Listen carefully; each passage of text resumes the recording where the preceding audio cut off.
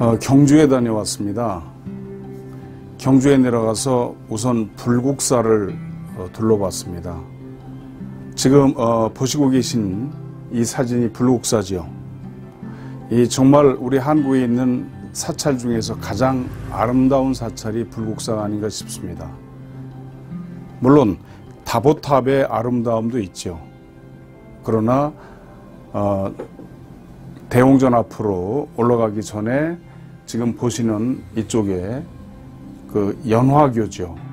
이 연화교 밑에 이렇게 다리처럼 돼서 연화교 그리고 이쪽에 백운교 어, 이 두 다리 이 계단은 정말 불국사의 백미라고 아니할 수가 없습니다.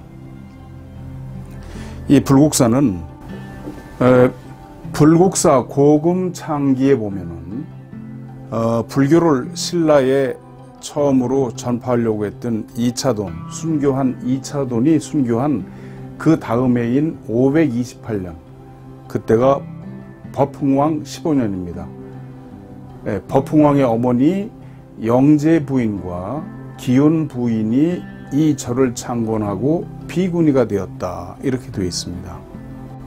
그러니까 지금부터 1500년 전의 일이죠. 그리고 574년 진흥왕 35년에는 진흥왕의 어머니인 지소 부인이 이 절을 중창하고 승려들을 득도하게 하였으며 왕의 부인은 비구니가 되고 이 절에 비로자나 불상 그리고 아미타 불상을 봉안했다.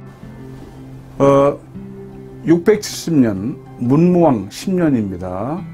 이 절에 강당에 해당되는 무설전을 짓고 그 당시에 의상대사라고 아주 큰 고승이 계셨죠. 의상대사의 제자들인 신림 그리고 표훈 이런 사람들을 머물게 했다. 어, 그런데 대웅전에 봉안되어 있는 불상의 복장기 어, 뱃속이죠 말하자면 그 안에 기록을 보니까 이 불상들이 서기 681년 즉 신라 신문왕 원년에 4월 8일에 낙성되었다 이렇게 어, 기록이 되어 있습니다. 그런데 삼국유사에는 신라 경덕왕 때에 재상을 지낸 김대성이 부모를 위해 이 절을 창건하였다 이렇게 되어 있고요. 그런데 김대성이 죽을 때까지 완공을 보지 못했다. 그 뒤 국가에서 신라에서 어, 완성을 시켜서 말하자면 국찰이 되었다 이렇게 되어 있습니다. 아, 이차돈이 순교한 이듬해인 서기 528년은 지금으로부터 1592년 전입니다. 그렇다면 그 당시에도 풍수가 있었을까요? 한번 살펴보겠습니다. 지금 빨간 점 있는 데가 불국사입니다. 주변의 산들이 전부 다 둘러싸고 있죠. 그래서 마치 고동 속처럼 생긴 그런 곳에 불국사가 있습니다.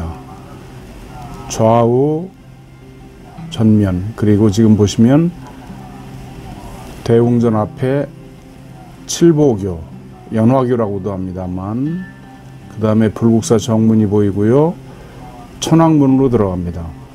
천왕문으로 들어가면 귀신들이 못 들어오게 하기 위해서 네 분의 천왕, 즉 4대 천왕이 있죠. 지금 오른쪽에 보, 시고 계신 이분은 건달바라고 그래서 어, 음악을 주로 담당했던 그런 분이죠. 흔히 어, 놀기 좋아하는 사람을 건달이라고 하는 말이 불교에서 온 것이죠. 예, 안양문이 보입니다. 극락으로 들어가는 문이라는 뜻입니다. 정말 아름다운 그런 절이죠. 앞에 다보탑이 보이고 저 왼쪽에 석가탑이 보입니다. 그리고 대웅전입니다. 대웅전 앞에 명당 탐지기, 관룡장, 심령초를 가지고 측정을 해보기로 했습니다. 날씨가 매우 추웠습니다.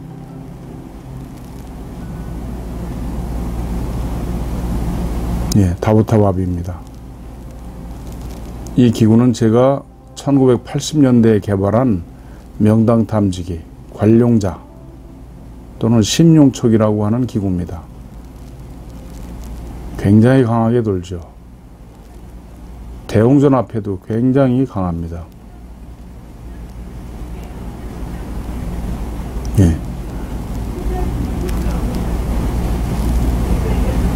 지금 보시는 것처럼 아주 힘차게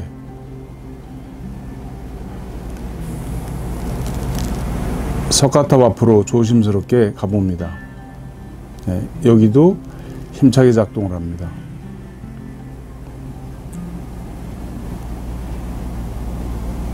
그런데 다보타와 앞이나 또는 대웅전 앞에 비해서 조금 약한 듯 합니다. 다시 한번 가봅니다. 예. 여기도 작동을 하죠. 예. 360도 회전하는군요. 대웅전 앞에 오니까 360도 그 이상 더 힘차게 아주 힘차게 작동하는 걸 느낄 수가 있습니다.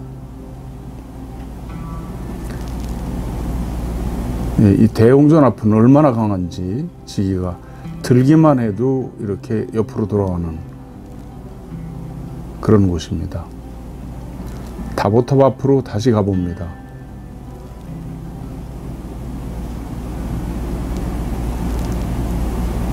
네. 다보터 앞에서도 들기만 해도 이렇게 들어갑니다.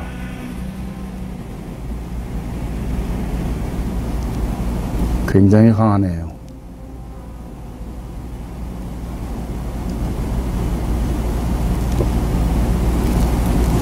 네, 이제 이 절의 강당인 무설전입니다. 대웅전과 함께 신라 때에 지어진 건물이죠. 물론 여러 번 중창을 했죠. 무설전 단우입니다. 밑에 대웅전과 마찬가지로 굉장히 강하게 작동하는 것을 느낄 수가 있습니다.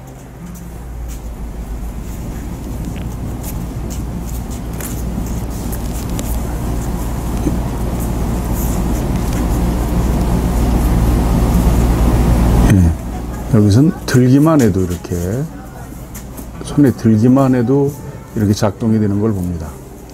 보신 바와 같이 이 다보탑 앞에서 측정한 것하고 석가탑 앞에서 측정을 했는데요. 두 군데 모두 힘차게 작동을 합니다. 그런데 제가 보기에는 다보탑 앞이 좀더 네, 지기가 강한 것으로 명당의 지기가 강한 것으로 그렇게 보여집니다. 여러분 동영상을 다시 한번 보시면 그 점을 확인하실 수 있을 겁니다.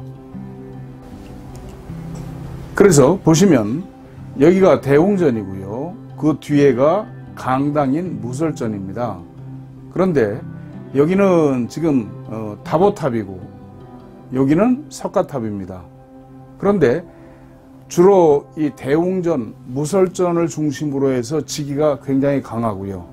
그 다음에 그 옆에 극락전 쪽으로는 조금, 어, 조금 강합니다. 즉, 이쪽만큼 강하지가 않다는 거죠. 그리고, 어, 석가탑보다는 다보탑 앞이, 앞, 뒤가 훨씬 더 강한 것을 보셨죠. 그리고 마찬가지로 대웅전과 일직선을 이루는 뒤에 무설전 바로, 어, 앞에서 측정한 걸 보셨는데 아주 힘차게 작동을 하죠. 그러니까 여기 보시면 다보탑 앞에 있는 이쪽에서부터 네, 이 대웅전 전면까지가 아주 굉장히 강하고요. 그 다음에 아, 석가탑도 물론 강합니다만은 다소 다보탑보다는 조금 약한 그런 느낌이 듭니다. 네. 어, 지금까지 제가 살펴본 국내 사찰 가운데서는 이 어, 불국사가 이 관룡자 심용촉이 가장 강하게 작동하는 것을 봤습니다. 여러분께서도 함께 보셨죠.